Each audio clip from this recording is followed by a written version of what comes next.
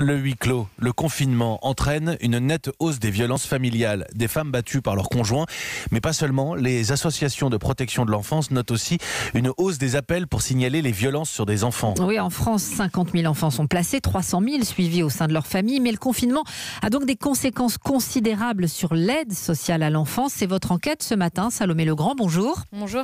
Vous avez pu, et c'est rare, recueillir des témoignages directs d'éducateurs. La plupart sont inquiets. Oui, d'abord parce que plus de la moitié des signalements de maltraitance viennent de l'école, fermée donc.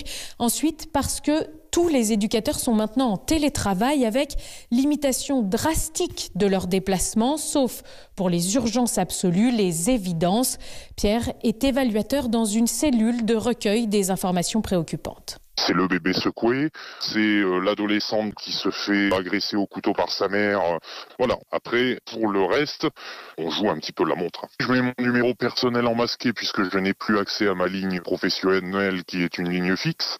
Je tente de joindre les familles euh, petit à petit. J'ai des appréhensions. Voilà, certaines familles qui ne décrochent plus, certaines familles qui nous disent tout va bien, tout va bien, mais ils disent tout va bien depuis le début.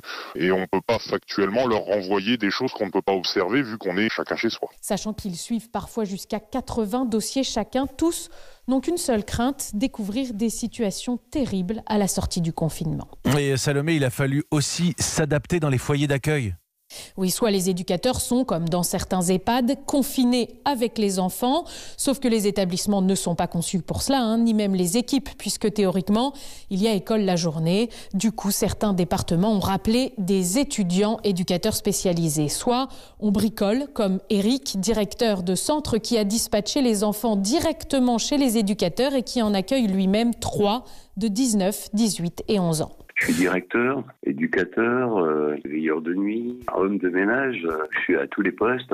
Personnellement, j'ai qu'un ordinateur. J'ai les enseignants qui m'envoient des tonnes de trucs à faire. J'en ai un qui est en CAP d'électricité. J'y connais rien. faut réinventer notre travail, là. Ils découvrent la musique qu'ils n'ont jamais entendue. euh, Ça change un peu du rap. Et Ils sont complètement différents que quand ils sont dans le centre. Il y a de l'empathie qui naît chez eux. Ça fait 15 jours que je les ai. Euh, 15 jours que j'ai pas levé le son de ma voix. C'est vachement intéressant ce qui se passe. L'un a même demandé à rester après le confinement, mais pas sûr, dit le directeur. Merci Salomé Legrand. Vous euh, retrouvez la, la version longue de cette enquête sur notre site europe1.fr.